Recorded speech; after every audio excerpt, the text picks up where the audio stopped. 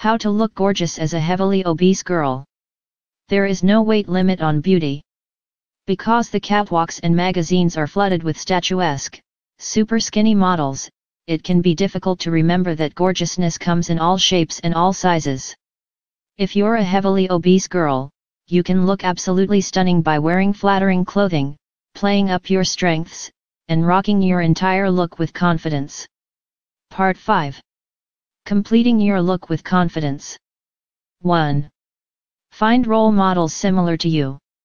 If you're surrounded or bombarded with images of girls who look completely different than you, it can be easy to feel like an outsider. It's important to find relatable role models who inspire you. It doesn't matter if it's a plus size model in a fashion show, a super confident woman you know in real life, a teacher, a family member, or a body positivity spokesperson just find someone who helps you love yourself. 2. Remember that you are your biggest critic. If there are certain things you don't like about yourself, you're most likely the only one who notices. If you can forget about your little flaws, others will too.